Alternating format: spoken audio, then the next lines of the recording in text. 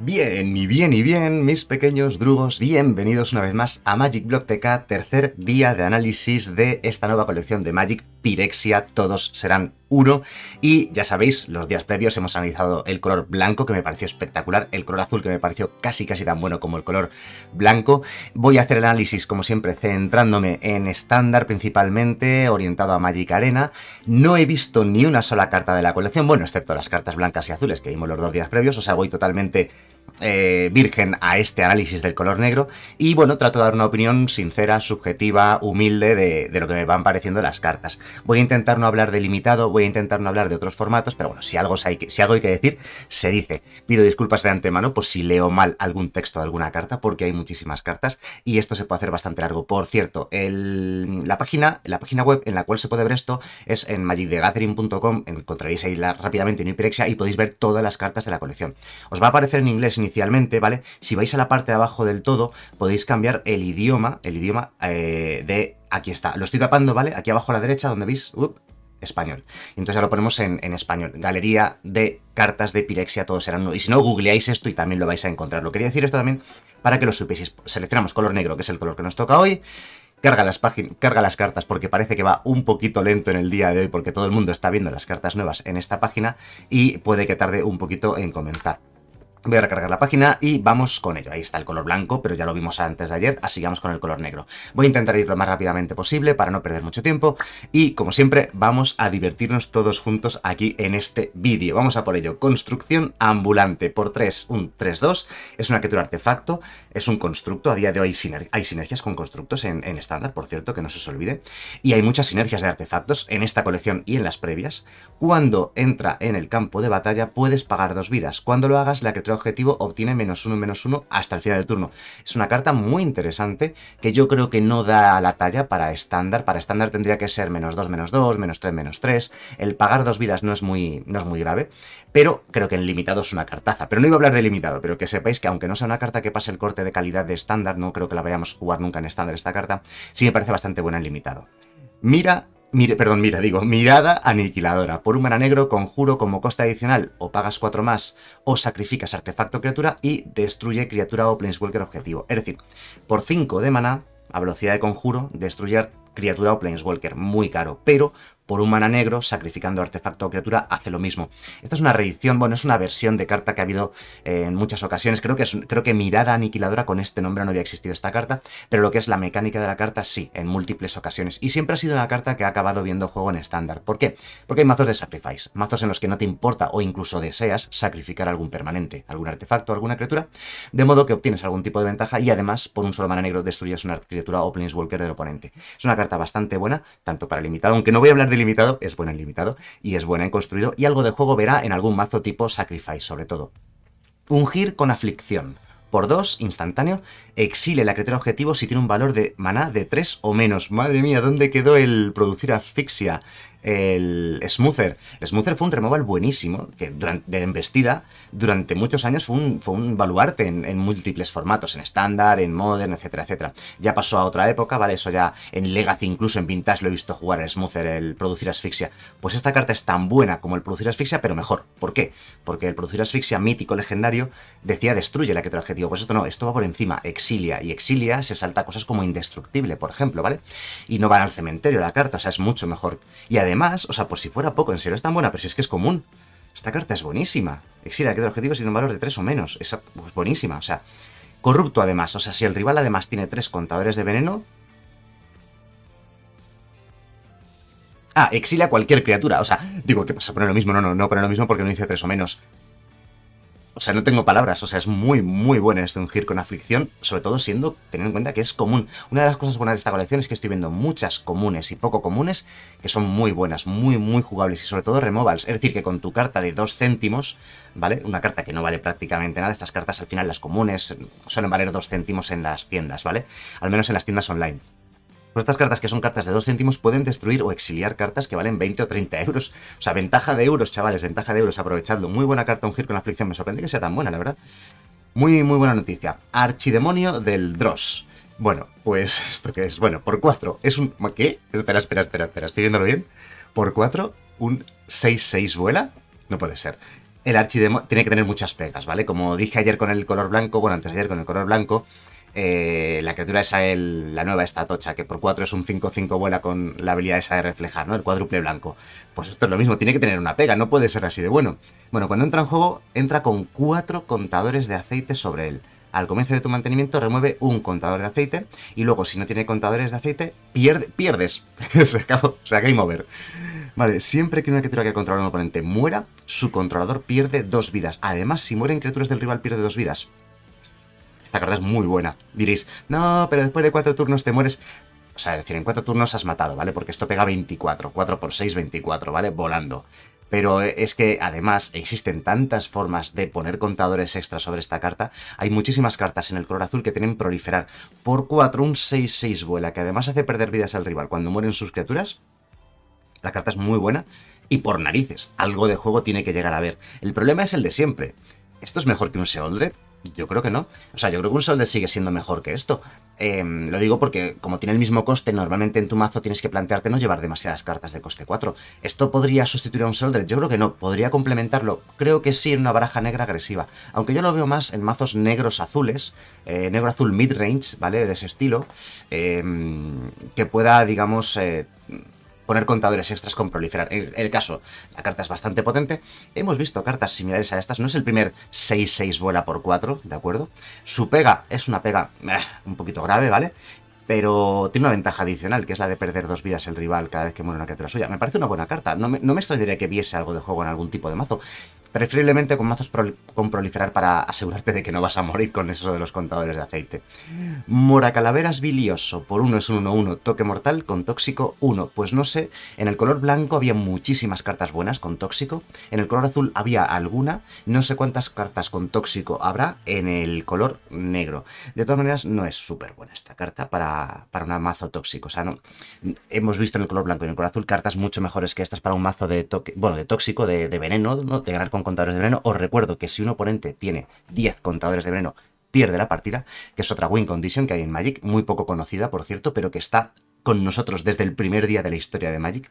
Así que la retomaron hace unos años en New Pyrexia, la han vuelto a retomar este año y bueno, pues se agradece que una win condition casi en el olvido, prácticamente durante décadas, podríamos decir, se retome y bueno, se vuelva a ella porque es cuando un juego tiene diferentes formas de ganar, tiene diferentes formas de divertirse o de, aproximar la estrategia de tu mazo. Por tanto, es más variedad y es más diversión. O sea, es genial, vamos. El caso es que esta no es la mejor carta de tóxico que hemos visto, pero tampoco me parece mala del todo. Especialmente en limitado. Ocaso del sol negro. Ya sabéis que los ocasos hay uno por cada color. Ya vimos el blanco, que me pareció buenísimo. El azul me pareció buenísimo. Vamos a ver cómo de fuerte está el eh, ocaso del sol negro. Uno por cada color. Todos ellos tienen coste X en su, en su coste superior. Y cuando X 5 o más hacen algo extra, ¿vale?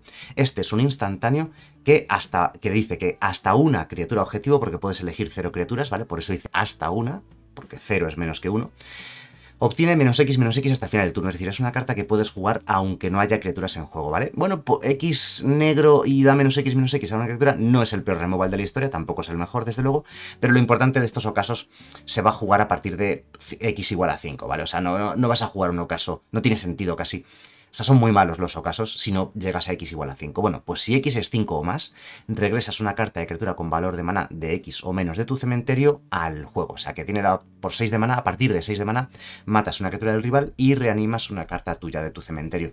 No es especialmente bueno. De hecho, de los tres que hemos visto hasta ahora... Bueno, a ver... Tiene una ventaja que es instantáneo, reanimar a velocidad instantánea es algo muy, muy poco habitual, muy poderoso, pero aún así es claramente una carta inferior a, a las que vimos los dos días previos. La blanca y la azul son muy superiores a esta, pues son mucho más poderosas y con, sobre todo más únicas, ¿no? Eh, cosas que reaniman o cosas que matan son mucho más fáciles de tener. Entonces, para un removal de coste 6 o de coste alto, mm, no llama mucho la atención. Y como reanimador de coste 6, aunque sea instantáneo, también poco llama mucho la atención. Así como digamos que como es muy, como es muy floja en sus dos cualidades, y tampoco son tan importantes, porque hay otras cartas que hacen cosas similares de forma mejor, pues no hay mucho. En cambio, el azul y el blanco son bastante únicos en sus dos habilidades y las hacen bastante bien. Y ya conjuntas, pues son tremendas, ¿no? Así que el ocaso negro, bastante más flojo. No digo que sea malo, no digo que sea absolutamente injugable, pero sí muy por debajo del azul y el blanco. Rata panza corrupta por 2 es un 2-2 con tóxico 1 que cuando muere prolifera, bastante buena, bastante mejor que el 1-1 este, porque proliferar es una habilidad muy poderosa, lo vengo diciendo ya desde ayer con el color azul.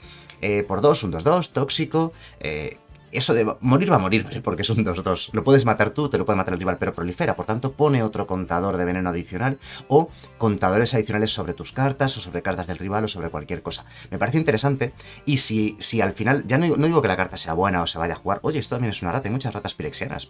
Bueno, no digo que se vaya a jugar seguro, pero digo que si hay un mazo de veneno con el color negro, es muy posible que esta rata vea juego en ese mazo. Esquirge busca huesos por 3, 2-2 vuela ¿vale? 2-2 vuela caca, esto es una caca de bicho, pero tiene corrupto. Es decir, si el rival tiene 3 contadores de veneno o más, también tiene las habilidades de toque mortal y vínculo vital. No pasa el corte para estándar, muy flojita. Un 3 por 3, un 2-2 vuela, aunque tenga toque mortal y vínculo vital, no es suficiente para, para construido para estándar. Ahora bien, en limitado es una carta bastante, bastante buena.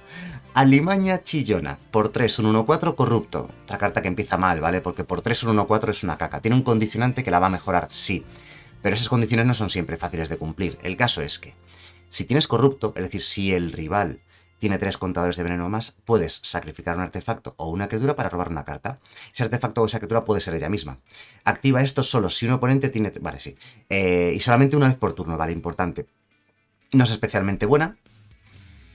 Hemos visto cartas similares a estas, de sacrificar criaturas para robar cartas. De hecho, por ejemplo, en ya no me acuerdo cómo se llama la carta, pero en Forgotten Realms teníamos una carta muy parecida a esta, que por 3 era un 1-4, pagando 2, sacrificabas artefacto criatura, robabas carta. Y se jugó mucho en los mazos Sacrifice.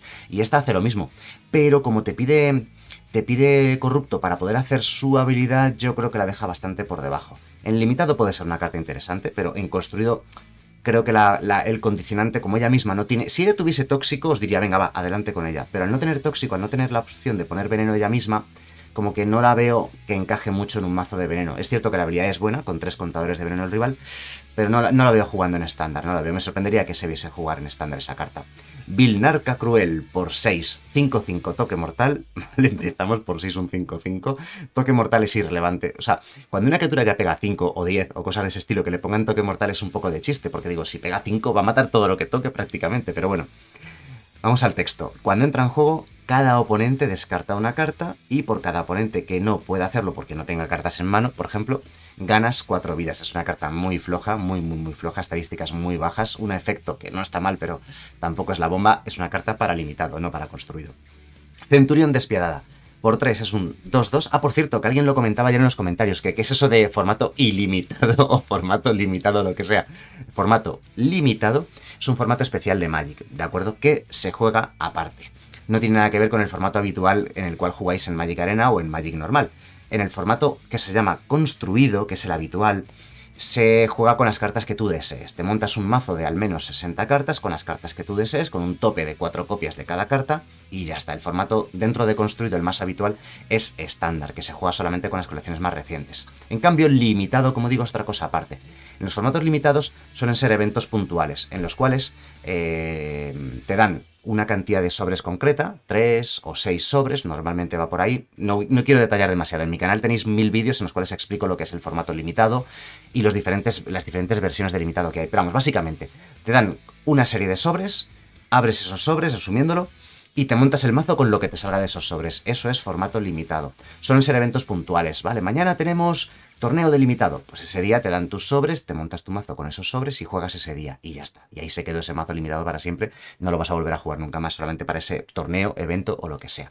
Vale, quería aclararlo porque mucha gente lo estuvo preguntando ayer en los comentarios o antes de ayer y quería que quedase claro. De todas maneras, en mi canal de YouTube o en mi página web magicblogtk.com vais a encontrar enlaces a todo tipo de guías, tutoriales, explicaciones acerca de cualquier mínima cosa que haya existido en toda la historia de Magic.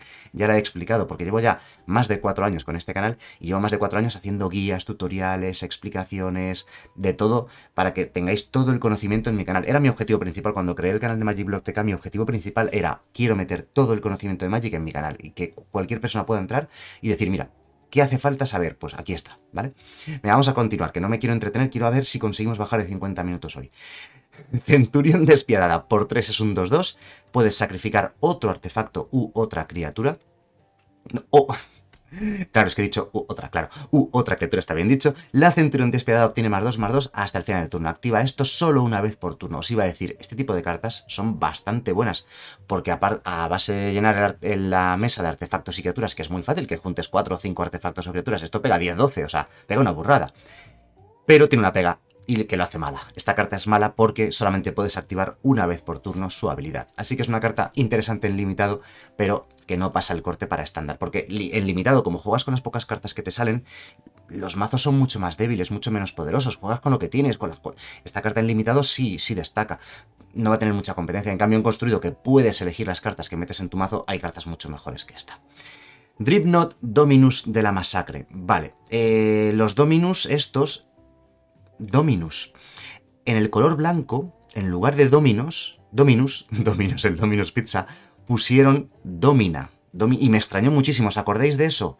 ¿Vale? Voy a buscarlo, voy a buscarlo porque me parece bastante importante, dado que aquí hay un, como, un, fallo en la traducción o algo por el estilo. A ver si la encontramos la carta blanca porque quiero, quiero destacar este tema porque me parece bastante relevante. El, cuando uno se dedica a expresar, ¿vale? Cuando uno se dedica a comunicar o a expresar o a comunicar o a transmitir conocimientos, ¿vale? Tiene que intentar que su lenguaje sea perfecto, sea el mejor posible, el más universal, que todo el mundo lo entienda correctamente. No hay que usar terminología demasiado técnica porque no todo el mundo la va a entender. Fijaos que hasta que hasta la palabra limitado, que no es especialmente técnico en Magic, mucha gente no la entiende porque no conoce, porque acaba de empezar lo que sea.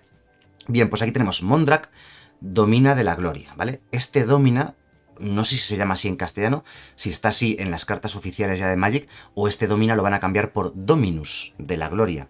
En el color azul también teníamos un dominus.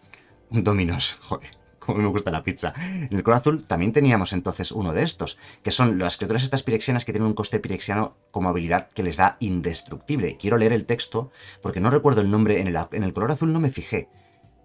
Entonces, lo de domina es un error. Aquí ves Dominus. Vale, en el color blanco está mal traducido. Han puesto domina de la materia.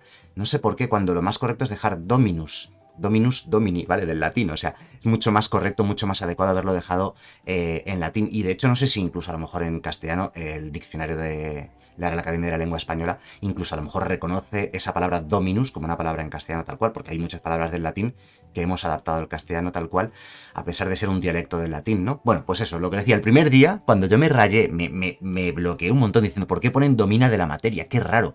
Vale, dominus de la masacre, en latín.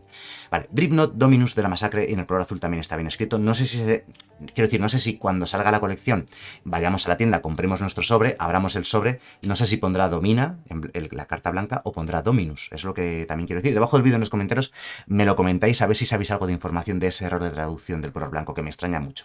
Por eso digo que si Magic the Gathering ha pagado un buen dinero a la gente que se dedica a traducir estas cartas del inglés al, español y cometen errores en la traducción, me parece bastante grave porque es tu profesión. Y estas cosas no se traducen y listo, no. Se traducen y se revisan varias veces. Hay varias personas, un equipo detrás, trabajando en la traducción. Me parece muy mal. Como yo me dedico a la comunicación, me parece muy grave este tipo de fallos, ¿no? Bueno, yo en mis libros la verdad es que tengo también algunas erratas que se corregirán en la segunda edición.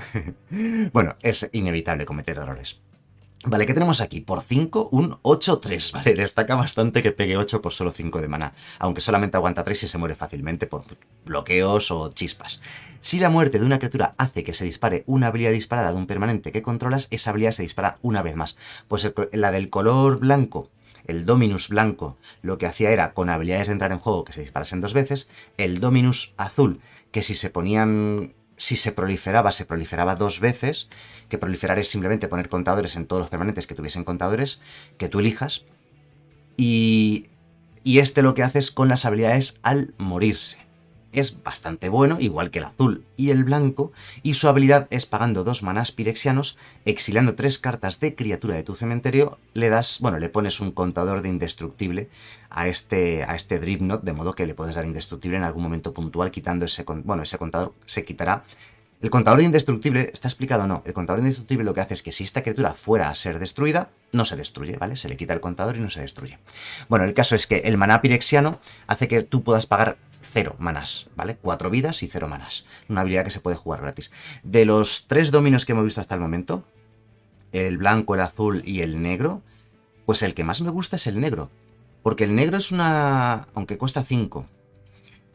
Porque puede ocurrir su habilidad el mismo turno que lo juegas. Por ejemplo, juego Drifnot en el turno 5 y a continuación tengo alguna criatura, como la que acabamos de ver, como está de aquí, que me permite sacrificar criaturas. Entonces, las otras no, las otras ya te obligaban a a continuación jugar otra cosa pagando más mana. No puedes hacerlo. En cambio, este sí.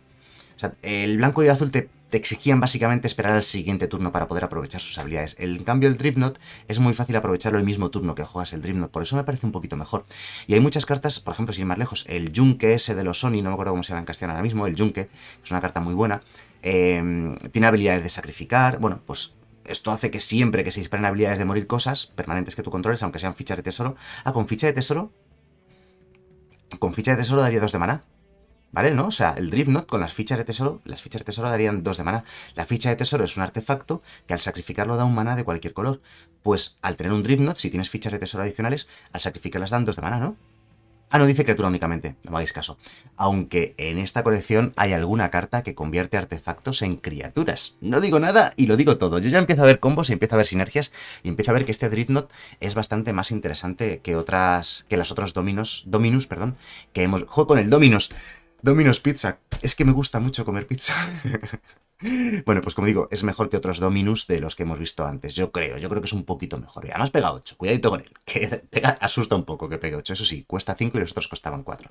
No me entretengo más. Todos los Dominus me parece que son decentes los que hemos visto hasta ahora para que lleguen a ver juego. Ahogar en Icor. O en Icor, mejor dicho. Por 2. De hecho,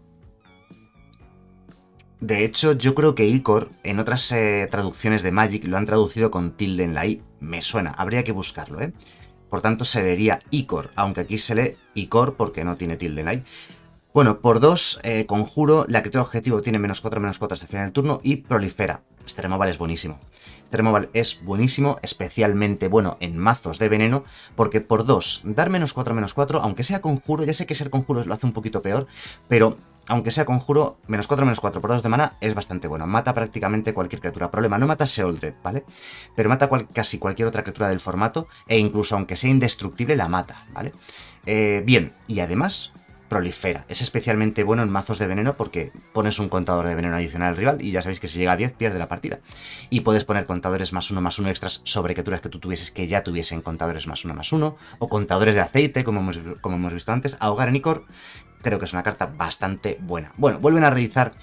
Eh, o sea, es una carta que creo que va a haber juegos seguro en mazos, incluso aunque no sean de veneno, porque muchos mazos van a aprovechar el proliferar. Proliferar también pone contadores sobre los Planeswalkers que tuviesen contadores de lealtad, sobre cualquier cosa. Coacción eh, enésima. ¿Cuántas veces han reeditado la coacción? Es una carta que han reeditado 20 veces en la historia de Magic. Bueno, por un mana negro, conjuro, miras la mano del rival y le quitas una carta que no sea ni tierra ni criatura.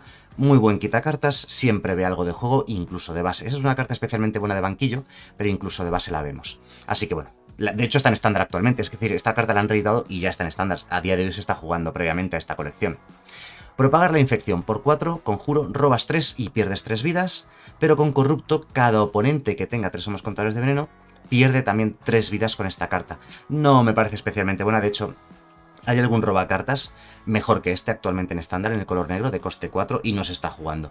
Así que este, aun, haciendo perder 3 vidas al rival, tampoco es especialmente bueno. Este no va a haber juego. Es una carta que ya que pasa el corte de limitado, si acaso, ¿vale? No es especialmente buena ni en limitado. Gladiadora esquelética por 2 es un 2-2 que tiene corrupto. Es decir, si el rival tiene 3 contadores de veneno o más, tiene estabilidad. Pagas 3, la regresas del cementerio al juego girada. Pierdes una vida y ya está. Eh, no es buena, no es buena para Constituido porque es demasiado lenta.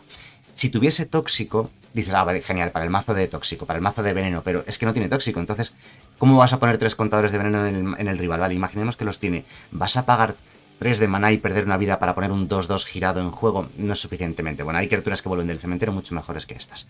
De que esta. Ni siquiera en limitado me parece bastante interesante. Geth, bueno, voy a decir Geth en español, de acuerdo, me gusta leer las cosas correctamente. Varón de los contratos. Por 3 es un 3-4 que hace que las otras criaturas que controlas obtengan menos 1, menos 1. Vale, empezamos mal, ¿de acuerdo? Por 3 es un 3-4, no llama demasiada atención en ese sentido. Y encima tiene una pega nada más comenzar. Eso sí, es zombie. Hay muchos mazos de zombies, actualmente en estándar no, pero bueno, tranquilos. Cada dos añetes tenemos siempre un mazo bueno de zombies en estándar. Bien, dice, pagando... Bueno, de hecho, De hecho, el mazo de zombies actualmente en estándar no se está jugando, pero existir existe, porque con, con Innistrad se puede montar un mazo de zombies bastante decente. De hecho, el año pasado jugamos mazos de, zombies aquí en el formato, en el canal, y dieron buenos resultados. Actualmente están en olvido, pero podrían volver si esto es bueno. Vamos a ver. Como empieza con una pega, entiendo que esta habilidad tiene que ser buenísima. Por 3 y girándolo, regresas una criatura objetivo de tu cementerio al juego. Gana si esa criatura fuera a dejar el campo de batalla porque sube a la mano o lo que sea, o porque muere o porque lo que sea, se exilia para siempre, ¿vale? En vez de ponerla en el cementerio. O en vez de ponerla donde sea que se vaya a poner, ¿no? Activa esto solo como conjuro. Las otras, no sé, no sé. Es un reanimador, ¿vale? Es un reanimador que puede reanimar cada turno. No me parece que sea muy buena. Encima, o sea, por 3 es un 3-4, que no está mal, pero esa pega de que le da menos uno menos a tus otras criaturas, eso sí, reanimar cada turno, aunque sea un coste alto, pensad que habéis pagado 3 de mana para jugarlo. Esperar un turno completo, girarla y pagar otros 3, en total 6 para una reanimación. Y los rivales también juegan, te pueden matar esto, el head quiero decir, te pueden exiliar la carta del cementerio. No lo veo especialmente bueno porque es un poquito lento y porque encima tiene una pega, no me llama demasiado la atención. Y desde luego no haría que un mazo de zombies fuese bueno, ¿vale? Esta carta. Así que no, no la veo muy jugable, la verdad. No sé, no me llama mucho la atención.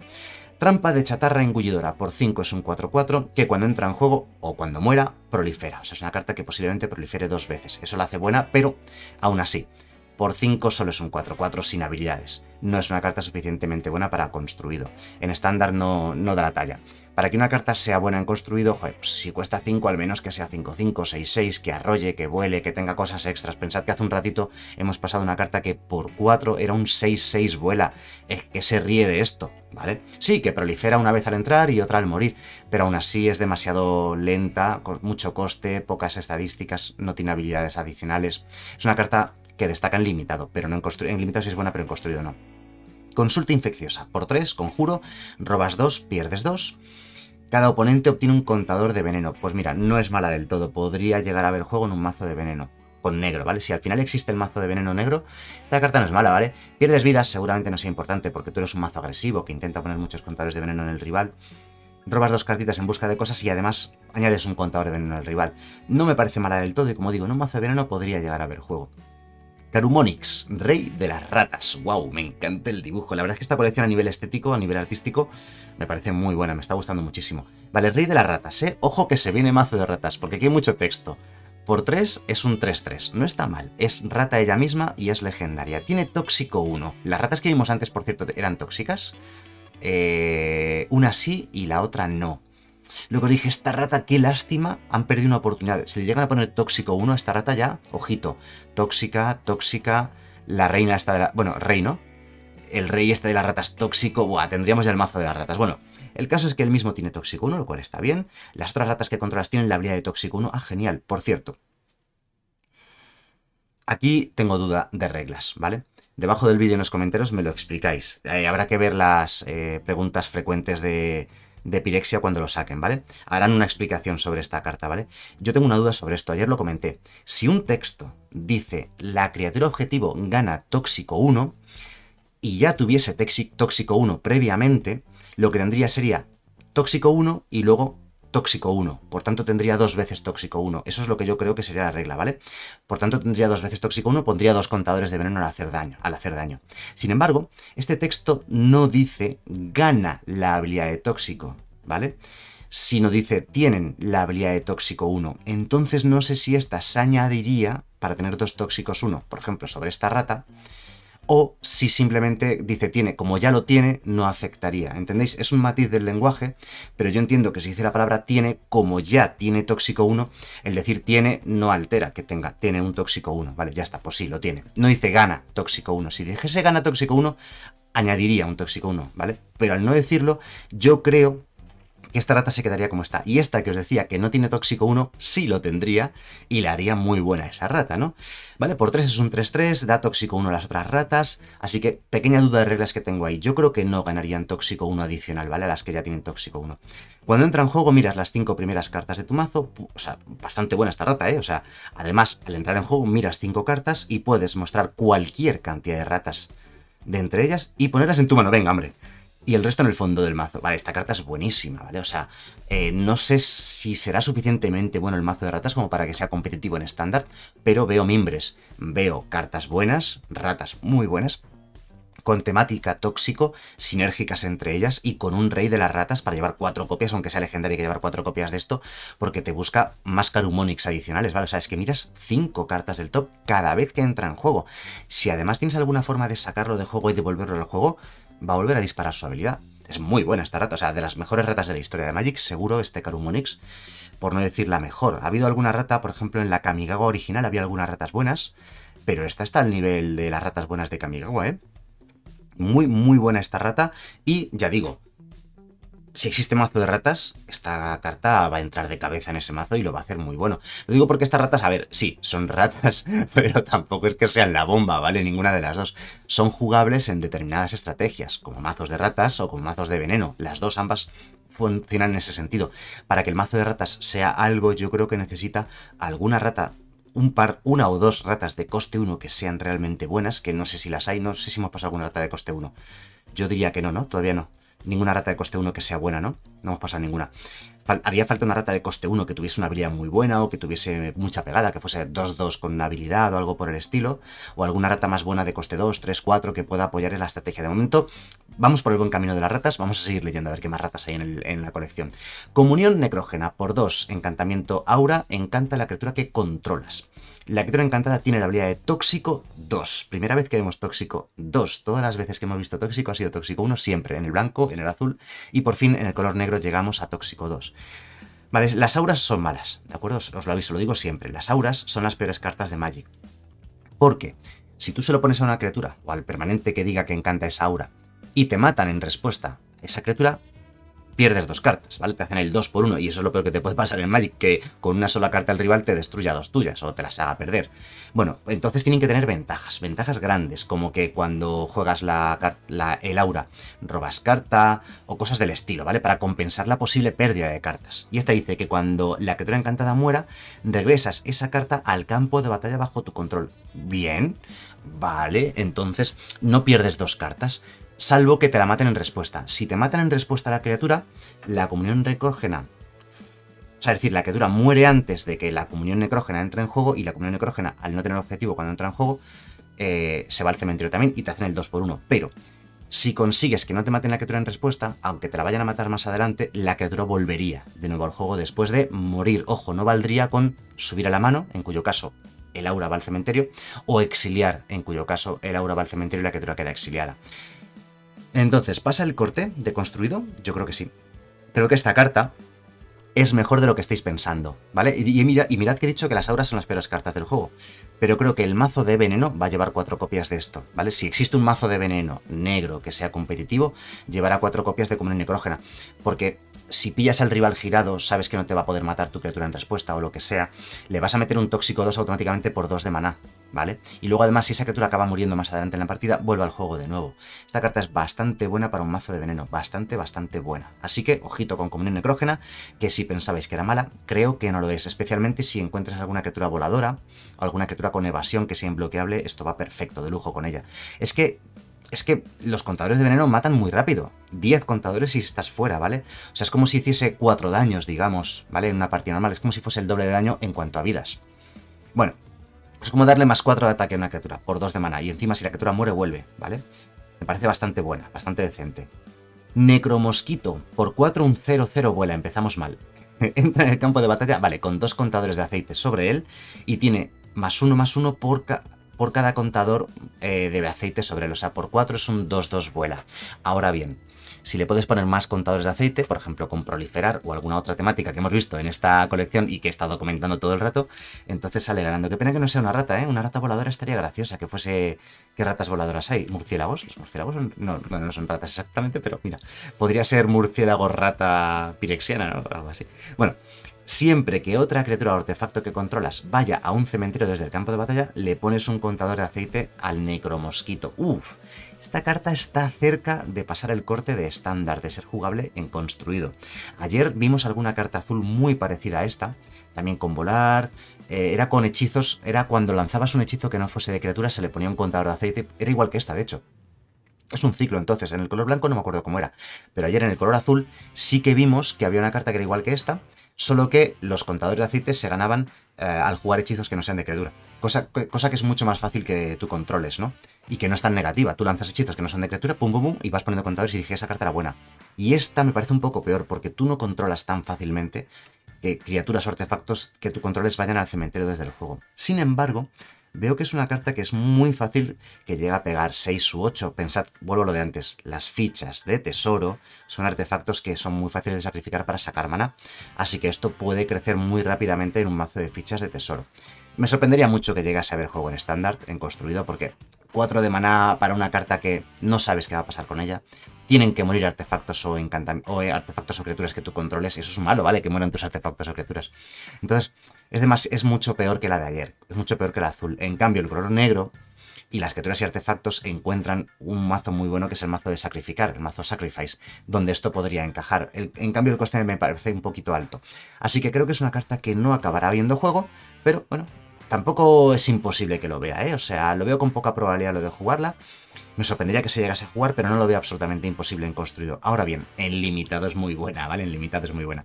Paladín Alzamin, Alzanims, perdón, por 5, 4, 4, tóxico 2. Eh, segunda carta que vemos que tiene la, expresión tóxico 2.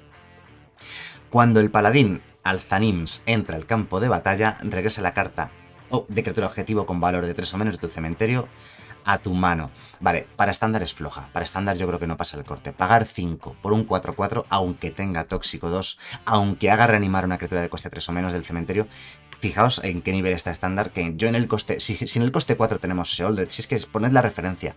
¿Es mejor esto que un Seoldred? Pues no, ya está, o sea, es una carta muy mala. Para construido no es suficientemente buena. No pasa el corte de construido. Ahora bien, en limitado es una cartaza. En limitado, aunque sea por 5 un 4-4, mira, pues dices, pues tengo un 4-4. Pero es que hace dos cosas muy buenas. El tóxico 2 es muy bueno y el reanimar una carta de coste 3 o menos en el cementerio es muy bueno. Así que en limitado sí que es muy buena para que veáis un poco el baremo de lo que es bueno en limitado y lo que no en, construido. Ofrecer la inmortalidad por 2 instantáneo, la criatura objetivo gana las habilidades de toque mortal e indestructible hasta el final del turno. Nah, es un truco de combate que en construido no es bueno, ¿de acuerdo? Porque para esto te metes otro tipo de cartas, ¿vale? O sea, si te matan una criatura, pues te la matan. Llevas más criaturas y ya está. O llevas contra hechizos que contrarresten cosas. Pero esto no es bueno, ¿vale? En limitado es otra historia. En limitado sí puedes permitirte llevar este tipo de cartas si tienes cartas muy importantes que quieres proteger a toda costa, adelante. O criaturitas pequeñitas que darles toque mortal pueda ser útil, pues adelante, si te hace ilusión pero para construido no suelen ser buenas esas cartas. Bueno, esta sí la conocía, ¿vale? Ya la acabo de ver, el arrasador pirexiano, Pirexian Obliterator, es una reedición de New Pirexia, la colección que salió hace ya muchos años de, Magic, donde ya salió esta carta, y fue una carta muy buena, muy buena en su estándar, muy buena en otros formatos, ha visto juego, ya está en Magic Arena esta carta, eh, fue editada para formato histórico. No ha estado en estándar nunca en Magic Arena todavía, esta va a ser la primera vez, pero sí que está en Magic Arena porque la lanzaron directamente para formato histórico, sin pasar por estándar.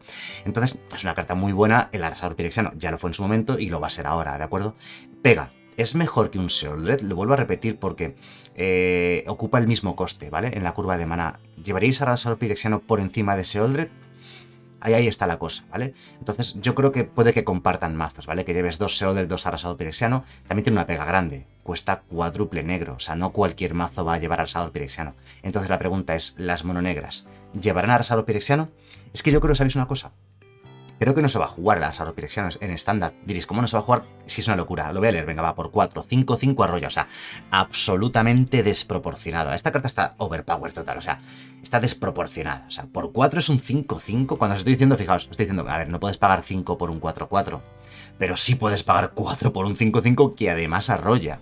Y dices, bueno, es tan buena que tiene que tener aquí en el texto una pega, pues no es que encima tiene otra ventaja más que es brutal, es absurda, ¿no? La ventaja. Siempre que una fuente haga daño al arrasador pirexiano, el controlador de esa fuente sacrifica esa misma cantidad de permanentes. O sea, si el rival le hace daño al arrasador pirexiano, encima sacrifica permanentes igual al daño que le haya hecho al arrasador pirexiano. O sea, olvídate de bloquear al arrasador pirexiano. Te bloqueo y le hago cuatro daños, sacrifico cuatro permanentes. No voy a bloquear al arrasador pirexiano normalmente, ¿vale? Eh, tengo chispas, no lo mates con chispas porque vas a tener que sacrificar todos tus permanentes, básicamente. Es decir, es una carta que es tremenda, es brutalísima y aún así os digo que no se va a jugar, ¿vale? ¿Por qué? Porque si tu mazo es eh, multicolor, este cuádruple negro es muy costoso, ¿de acuerdo? Y diréis, no, pues están jugando el, eh, que cuesta cuádruple negro también. Están jugando mazos tricolores perfectamente el invocar el, el, invocar negro este, ¿no? Que cuesta cuádruple negro y es buenísimo. Está jugando en mazos de dos y tres colores. Es cierto. ¿Vale? es cierto. Pero es que es mejor que un Seolder, vuelvo a lo de antes, es que no es mejor que un Seolder. Y además tienes el problema que a lo mejor no puedes jugarlo, ¿vale? Porque cuesta cuádruple negro. Y al final solamente es una criatura, te lo matan fácilmente. Pues toma, mira, te lo mato y a otra cosa, ¿no? O sea, al fin y al cabo, es una cosa... No es, no es difícil hoy en día matar criaturas. Cada vez es más fácil, de hecho, cada vez hay mejores anticriaturas. Es que, bueno, vale, siguiente cosa, siguiente cosa. ¿Qué iba a decir? Iba a, decir, iba a añadir un argumento más. Vale, y diréis, no, pues en mono black, mazo mono black, mono negro. El problema de los mazos mono black, los mazos mono negros agresivos, es que llevan cuatro copias de la eh, factoría de Mirra, ¿no? ¿Cómo se llama? La fábrica de Mirra se llama, ¿no? La, nueva tierra que se convierte en criatura. Y da mana incoloro. Entonces, en esos mazos, los mono black agro, vas a tener que bien, o bien, quitar las eh, fábricas de Mirra esa que se convierten en criatura, porque no puedes permitirte pagar cuádruple negro en ese mazo, no juntas cuádruple negro fácilmente. Vale, dirás, sí, algunas partidas sí, pero otras no. Y el hecho de no poder jugar una carta, quedártela en mano sin poder jugarla, es lo peor que hay en Magic, ¿vale? Entonces, yo voy a... Venga, voy a tirarme a la piscina, voy a arriesgarme. Creo que el Arrasador Piresiano es muy buena carta, que es cierto que se ha jugado durante muchos años en muchos formatos y que en su momento pues, fue, un, baluarte total en estándar y que en este estándar podría ser un baluarte total, pero no mientras esté Seoldet en competencia con él o tengamos cartas como la Fábrica de Mirra. Se llama Fábrica de Mirra, ¿verdad? La, la Tierra. Es que la antigua, la original se llamaba Factoría de Mirra pero la actual creo que se llama Fábrica. Bueno, es que he visto más el nombre en inglés que en español, por eso no estoy seguro. Bueno, el caso, que creo, por muy buena que sea, que esta carta no va a haber juego en estándar. Ahí, me tiro a la piscina, dejad vuestro comentario eh, ahí debajo del vídeo o en el chat, porque lo voy a estrenar para que lo podáis comentar durante el estreno del vídeo. Bueno, vamos a continuar. Extractor pestilente, por 2 es un 1-1, vuela, tóxico 1, una carta decente, pero ya veremos si pasa el corte de, de, estándar para jugarse en el mazo de tóxico, el mazo de veneno, si al final hay un mazo negro de veneno. No es mala, ¿vale? O sea, podría llegar a haber juego en ese mazo, pero habrá que ver, ¿de acuerdo? Andan rito a la arena pirexiana. Es lógico, porque es una colección pirexiana. Entonces, como la colección es de pirexia, pues es lógico que griten la arena pirexiana. La arena pirexiana durante muchos años fue una carta 5 estrellas, sobre todo en su estándar. Creo que la carta salió en el bloque de invasión. Estamos hablando de aproximadamente año 2000 o por ahí, ¿no? Más o menos aproximadamente. Y en ese año, vamos, el color negro estaba fortísimo y se jugaban cuatro arenas pirexianas en todos los mazos con negro. Hoy en día, la ventaja de cartas que da la arena pirexiana ya no es tan llamativa, ya no es tan potente. ¿Por qué? Porque hay muchas otras formas de sacar ventaja de cartas. Eh, por ejemplo, están los Planeswalkers, sin ir más lejos. Un Planeswalker es algo parecido a una pirexiana, solo que tiene la virtud de tener diferentes tipos de habilidades y que puedas elegir diferentes cosas. Porque pone aquí mtgstory.com barra es, me acabo de dar cuenta. ¿Qué es esto? ¿En las otras cartas lo ponía? No, no me he fijado nunca. O sea, no. No, ¿verdad? ¿Hemos pasado alguna carta en los colores blanco, azul u hoy que pusiese esto? Es como publicidad de entra en mi página web. Supongo que es una página web oficial de Magic, ¿no? mtgstory.com barra es. Bueno, pone barra es para que lo veas en castellano y, no en inglés. Sucesos destacados. Ah, debe ser algo de, del lore de la colección. No tengo ni idea, no he, leído ni he visto absolutamente nada, ya lo sabéis, no he visto ni las cartas, ni sé nada del lore, nada de esas cosas. Vale, debe de ser que este texto de ambientación que tiene, o algo vinculado a lo que es la arena piresiana, forma parte del lore, muy, muy chulo, como a nivel marketing, a quien le guste el lore y esas cosas, a mí es que me da igual el lore porque a mí me gusta el juego, no las historietas. Me parecen bastante malas las historias de Magic. Para ver historias buenas prefiero ver historias buenas, ¿vale? Para eso leo El Señor de los Anillos, o veo las películas de los Anillos, o leo Juego de Tronos, o veo Juego de Tronos, o cosas del estilo. Porque anda que no hay buenas películas, buenos libros, buenas series con buenas historias, como para andar perdiendo el tiempo leyendo las historias de Magic, que son muy malas, muy cutres, la verdad. Son además copias de todas esas que os he dicho y de otras de ese estilo, pero mal, mal. O sea, siempre me han parecido bastante paupérrimas las el lore de Magic, por eso nunca me ha traído nada. Lo siento, pido disculpas, sé que a muchos sí que os gusta, os interesa, está bien que os interese, es, lógico si vuestra pasión es Magic, que os interese el lore, pero mira, a mí de Magic lo que más me gusta es lo primero, el juego en sí, la mecánica, el desarrollo de las partidas, la estrategia, todo ese tipo de cosas. Y lo segundo, si acaso, me gusta el estilo, el arte, la ambientación visual, digamos. Me gusta, me atrae tener, ver cosas bonitas delante, en la pantalla o, en mano, cuando juegas con las cartas físicas. Pero lo que es la historia me parece muy cutre. Pues debe ser algo de eso, ¿no? Debe ser algo de marketing debajo del vídeo en los comentarios o en el chat ponedlo, algo de marketing, ¿no? Sucesos destacados. Entras en la web y te cuentan a lo mejor algún suceso destacado relacionado con Arena Piresiana. Como digo, es una carta que probablemente no llegue a ver juego en estándar porque a día de hoy hay formas más eficientes y mucho mejores de robar cartas, ¿no? Como digo, por ejemplo, los Planeswalkers dan ventaja de cartas de una forma mucho más versátil, mucho más poderosa que una simple Arena Pirexiana. En su momento fue importante y luego posteriormente en diferentes años ha sido reeditada la Arena Piresiana. Pues en 2005, en 2010, estoy diciendo años al azar, ¿vale? En 2015 ha sido reeditada, está en estándar y no se ha jugado. O se ha jugado pero muy, muy, muy, muy residualmente. Así que este año no creo que vaya a jugarse porque ahora ya sí que sí. Hay mil formas mejores de robar cartas que una que una arena piresiana. Por ejemplo, subestimado tenaz, un ejemplo perfecto de, para demostraros cómo la ventaja de cartas hoy en día sobrepasa completamente lo que es una arena pirexiana. Mira, continuamos. Necrotitán Voraz por 4 es un 6-6. Vale, aquí estamos hablando, es lo que os digo, que hoy en día para que una carta sea jugable en estándar, en construido, tiene que ser una carta, o sea, superlativa. Una carta que, sea de este estilo. Como mínimo ya por 4 un 5-5 ya parece poco incluso. Por 4 un 6-6. De hecho, antes hemos visto por 4 un 6-6 vuela con cosa extra. Cuando el Necrotitán Voraz entre en juego, sacrificas una criatura a menos que un oponente tenga 3 o más contadores de veneno. Pues fijaos, eh, creo que la carta es buena, pero no es suficientemente buena como para jugarse en estándar. Es muy buena idea, no, pero un mazo Sacrifice en el cual no te importe sacrificar una criatura, o incluso sea bueno sacrificar una criatura, incluso en ese mazo no tiene habilidades, no arrolla, no vuela, no, no tiene ningún tipo de evasión ni habilidad extra. Es, y además está Seoldred, vuelvo a repetirlo, Seoldred es coste 4, creo que Seoldred sigue siendo mucho mejor que esta carta. Así que no está mal, ¿vale? Hombre, si el rival tiene tres contadores de veneno, claro, pero al, al no tener tóxico, al no poner veneno esta carta, ¿para qué quieres llevarla en un mazo de veneno? O sea, es decir, que estás haciéndole veneno por un lado y daños por otro. O sea, es decir, los mazos de veneno van al veneno, les da igual las vidas del rival. Entonces, entonces como digo, no...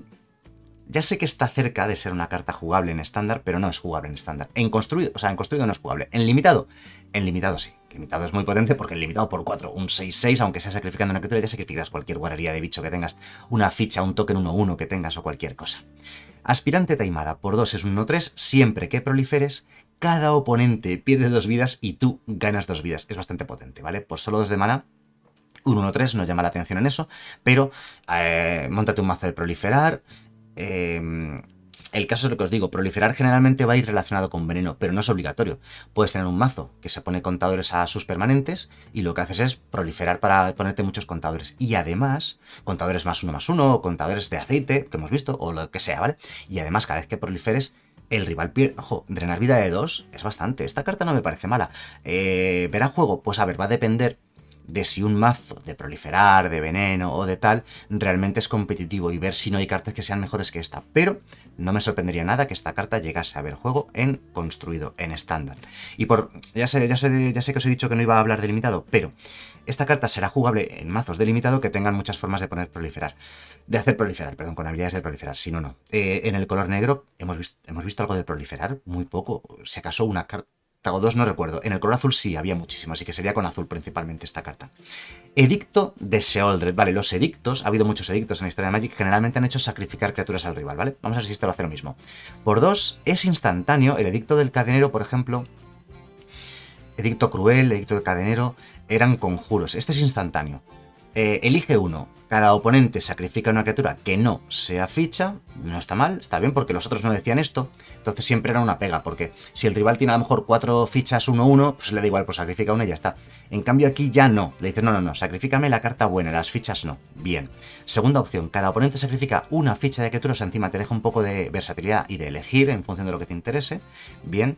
O cada oponente sacrifica un Planeswalker. ¿Qué? Por dos instantáneo, es buenísima. Es buenísima porque eh, es difícil interactuar con Planeswalkers. Hay pocas cartas que maten Planeswalkers y muchísimo menos que cuesten dos y que encima sean instantáneos. Esta carta es muy, pero que muy buena. Además, diréis, bueno, si el, si el rival tiene muchas criaturas en mesa, bueno, pues si tiene muchas criaturas en mesa es cierto que la carta es mala. Pero a poco que el rival tenga una sola criatura en mesa, o una criatura y una ficha, o pocas criaturas, o Planeswalkers, eliges a velocidad instantánea por solo dos de mana. Es especialmente buena en un metajuego que esté lleno de Planeswalkers. Actualmente en estándar no hay demasiados Planeswalkers. Se juega Liliana, se juega Sorin, em, se juega residualmente, pues a lo mejor algún Tethered o lo que sea, ¿vale?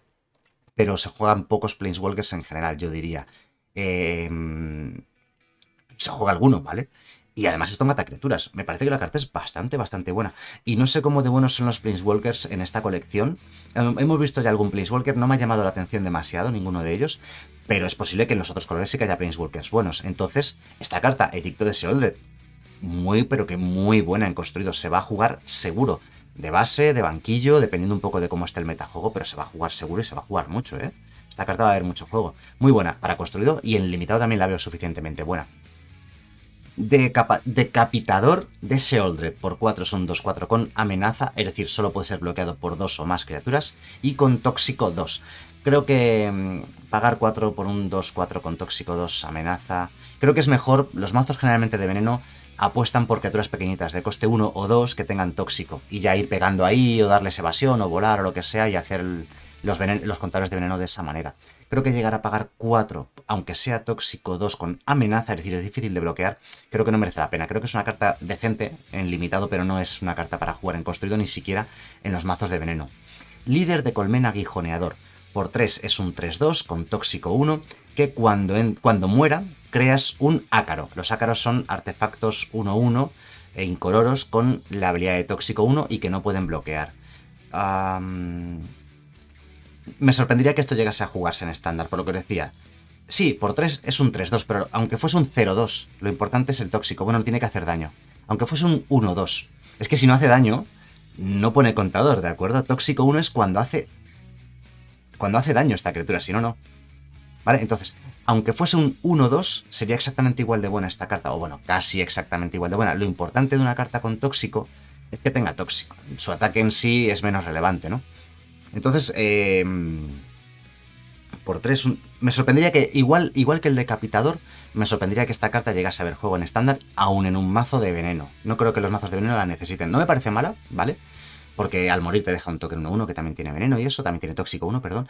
Pero bueno, eh, no, creo que llegue, no creo que llegue a jugarse. En cambio, el limitado es muy buena, ¿eh? Portadora de testamentos. Por 4 es un 4-1 que cuando muera miras las tres cartas del top del mazo y pones una en tu mano y el resto en el cementerio bastante floja, incluso en limitado, porque solamente aguanta uno y se va a morir casi siempre. Ahora bien, en cuanto muera, no has perdido carta. La verdad es que el limitado es buena, ¿vale? Voy a, corregir. En limitado es bastante buena, porque se va a intercambiar por cualquier criatura, incluso aunque aguante 4 del rival, lo cual, joder, pues tiene, tiene su aquel. Em, mata cosas que aguanten 4, si puedes con ello. Eh, si le das evasión, volar o lo que sea, vas pegando de 4 en 4 con una criatura que solamente te ha costado 4 y cuando muera encima te da una carta. O sea, no pierdes carta en el proceso. Bastante buena para limitado, pero es muy mala para construido, ¿de acuerdo? Un bicho que aguanta 1, sí te da carta, pero has pagado 4, has invertido un turno entero, turno 4, para nada, básicamente. Vale, continuemos. Estoy. Joder, madre mía, llevamos 50. Me he pasado de tiempo. Mucha cháchara, he hablado demasiado, demasiadas tonterías he dicho. Salir del tanque por 5, conjuro. Pon en el campo de batalla bajo, bajo tu control la carta de criatura objetivo de un cementerio y proliferas. Los reanimadores estándares suelen ser de coste 4 y ya si cuestan menos ya son, ya son muy buenos, ¿vale? Coste 3, 2 o 1. Suelen tener pegas, pero bueno, hay reanimadores de coste 1, 2 y 3 que sí que han visto juego en la historia de Magic y han dado pie a algunos de los mejores mazos de la historia. Un reanimador de coste 5 no va a ningún lado, es demasiado caro. Y proliferar no lo justifica, no es suficientemente bueno. Ahora bien, el limitado es bastante interesante. Para limitado sí, pero para construido no pasa el corte porque tiene un coste muy alto. o, o, bien tu mazo es de reanimar o bien es de proliferar. Y no hace bien ninguna de las dos cosas. Tanque de renacimiento. Por uno es un artefacto. Siempre que otro artefacto criatura que controlas vaya a un cementerio desde el campo de batalla, le pones un contador de aceite. Vale, los mazos negros, típicos de Sacrifice, fichas de tesoro también cuentan, ¿vale? Los artefactos, o sea, las fichas cuando las sacrificas, pasan por el cementerio antes de exiliarse, ¿verdad? otra duda de reglas que tengo puntual. Llevo tantos años ya que juego solamente a Magic Arena que he perdido un poco de contacto con las reglas. Esta es una regla típica que yo en su momento pues debería saber o sabría sin ningún tipo de duda. Pero ahora mismo dudo. Y creo recordar, creo que sí, creo que un artefacto o una criatura, aunque sea ficha, al sacrificar, al morir, va al cementerio y luego se exilia, o sea, pasa por el cementerio, cuenta como si fuese al cementerio, ¿vale? Sabéis que las fichas y las fichas de lo que sea, al morir, se exilian después. O no van al cementerio porque no existen realmente. Pues aquí tengo la duda, pero bueno, en cualquier caso los mazos Sacrifice es muy fácil que pongan muchos contadores de aceite aquí, ¿de acuerdo? Porque son muy propensos a sacrificar o hacer morir artefactos o criaturas propias. Luego puedes pagar 3 de mana, girarlo y remover ni más ni menos que 4 contadores de aceite, que es muchísimo. Regresas una criatura objetivo de tu cementerio al campo de batalla, activa esto solo como conjuro. creo que los mazos Sacrifice podrían llegar a jugar una copia, como mucho, yo creo, de tanque de renacimiento. Aún teniendo en cuenta que, aún pensando que fichas de tesoro o fichas de criatura, lo que sea, ponen contador de aceite, es costoso, ¿vale? Uno de mana para jugarlo, pero luego tres y girarlo, o y además solamente velocidad de conjuro, tiene muchas pegas, pero bueno, podrían llegar a llevar una copia. No me sorprendería que llegásemos a ver esta carta en mazos Sacrifice eh, en estándar. Pero tampoco me llama muchísimo la atención. Bran. Bran. Barón Verdugo. Por 2 es un 2-2. Vampiro, por cierto, para los mazos de vampiros que actualmente no se están jugando en estándar, pero podrían jugarse perfectamente. Así que ojito, una criatura legendaria que por 2 es un 2-2 y es vampiro, ya hace que salten mis alarmas de que la carta pueda ser jugable en estándar. El año pasado el mazo de vampiros fue bastante bueno, bastante competitivo. Versiones agro, pero sobre todo la versión midrange, que además fue la que ganó el mundial, ¿vale? El mazo de vampiros. Una, la Grixis midrange, la azul, roja, negra, la Grixis midrange, eh, que actualmente se juega en estándar, aunque ha perdido la temática vampiros, lleva vampiros, lleva varios. Eh, el año pasado sí tenía algo de temática de vampiros, poca, pero sí había un mazo de vampiros aparte que sí que era agro y se basaba en vampiros. Vamos a ver qué, hace esto, porque no olvidemos que Innistrad sigue estando en estándar, ¿vale? Y que Innistrad tiene múltiples vampiros muy buenos, aunque no se estén jugando competitivamente en estándar. Siempre que una o más criaturas que controlas mueran, cada... o sea, eh, cuenta el propio Bran para esto, hace drenar vida de dos, ¿vale? Cada oponente pierde dos vidas y tú ganas dos vidas. Esta habilidad solo se dispara una vez por turno. Solo una vez por turno, es mala. o sea, la carta no es buena, seamos realistas. Si no tuviese límite de una vez por turno, pues ya está. Te lo metes en cualquier mazo Sacrifice, te lías a sacrificar criaturas y has ganado la partida ese mismo turno.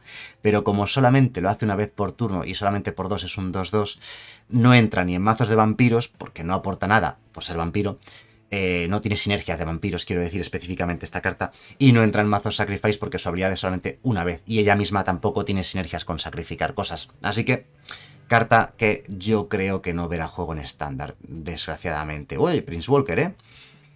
Ya terminamos el color negro, al final me he ido a una hora, dije que a ver si bajábamos de 50 minutos. Madre mía.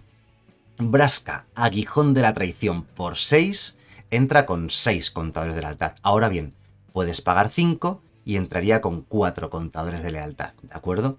Eso sería con la habilidad de perfeccionada que tiene la carta. Vale, primera habilidad. O sea, es, cara, ¿vale? 6, incluso 5 de mana sigue siendo un Walker caro, así que esperamos buenas cosas de él. Por 5 entra solo con 4 contadores, que es poquito, digamos. Por 6 entra con 6, que es lo normal. Así que bueno, vamos a ver. Primera habilidad, 0. Robas una carta y pierdes una vida y proliferas. Vale, la primera habilidad es buenísima porque te da una carta gratis sin perder contadores de lealtad. Está muy bien. Por cierto, no tiene ninguna habilidad que le sume contadores de lealtad. Eso es llamativo, es poco habitual. Y proliferar, como hemos visto, puede ser bastante bueno. Vale, para empezar el Planeswalker, por, ya sea por 5 o por 6 de mana, yo creo que habrá que jugarlo por 5. O sea, es que 6 de mana es que es un turno más. Que un turno más puede que se haya acabado la partida, ¿vale? Magic es un juego, cuando juegas a nivel alto, a nivel competitivo, que las partidas duran muy pocos turnos. 5, 6, 7 turnos como mucho, ¿no? En muchas ocasiones. Así que eh, que entre en el turno 5 lo hace mucho más relevante que si entra en el turno 6 aunque sea pagando dos vidas para que cueste 5. Primera habilidad muy buena, ¿vale? Me gusta mucho. Menos 2. La criatura objetivo se convierte en un artefacto tesoro, mi tesoro. Esto es lo que hacen los tesoros, que he hablado muchas veces en este vídeo de las fichas de tesoro para que sepáis lo que son, porque no lo he explicado.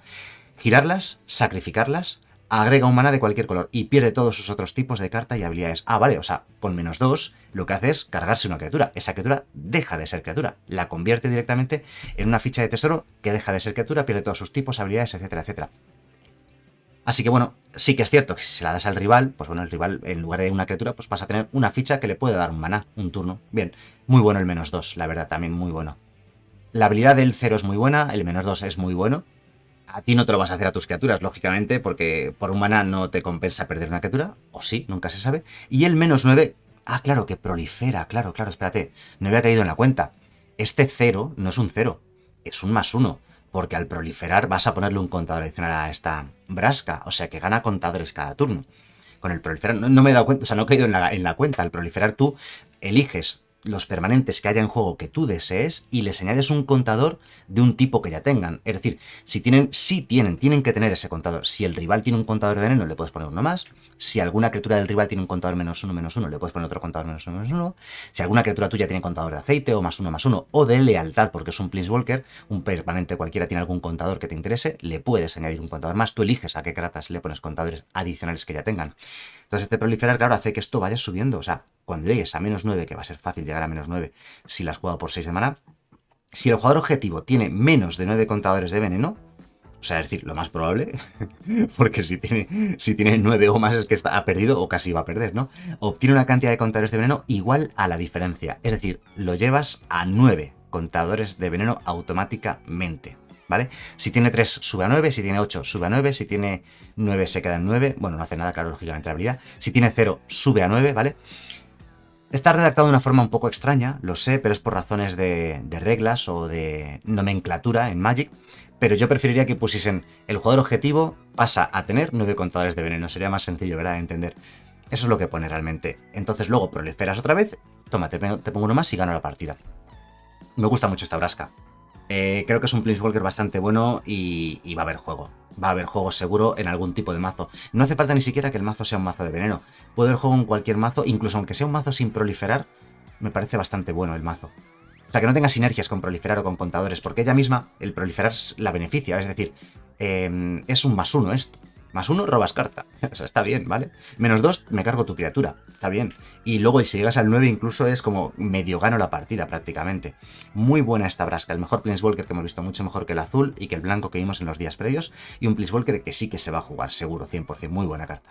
Caída de Brasca. Por 3, instantáneo, cada oponente sacrifica una criatura o Planeswalker y además obtiene un contador de veneno. Aquí esta es mala, ¿vale? Esta carta es mala para construido, porque tiene un coste un pelín alto, 3. Antes vimos una de coste 2, que era mucho más versátil y mejor que esta, en la cual no eliges tú, elige el rival. El rival puede elegir sacrificar cualquier criatura o Planeswalker encima, elige si es Planeswalker, elige completamente. Y sí que es cierto que obtiene un contador de veneno, pero creo que ni los mazos de veneno van a querer jugar un removal tan, tan poco preciso como este, en el cual el rival prácticamente tiene la elección totalmente a su favor. Entonces, em, yo creo que es una carta que no va a haber juego en estándar. Y en limitado tampoco es que sea la bomba. Eso de que el oponente elija entre criaturas y planeswalkers le da demasiada ventaja. Así que creo que es una carta muy floja, tanto para construido como para limitado. Mucho peor que la que vimos antes que costaba 2. Susurro del Dross. Por un mana negro, instantáneo, la criatura objetivo obtiene menos uno, menos uno hasta el final del turno y además proliferas. Me parece decente es posible que no vaya a haber mucho juego de base, porque no matas prácticamente ninguna criatura con esto, pero sí de banquillo. Sí de banquillo em, en mazos de veneno, mazos que buscan el tema de poner contadores de veneno al rival, o que tengan mucha sinergia con contadores para aprovechar ese proliferar. Hemos visto muchas sinergias de proliferar, con lo cual quizás incluso podría llegar a jugarse de base, ¿vale? vale voy a corregir un poco mi, percepción inicial.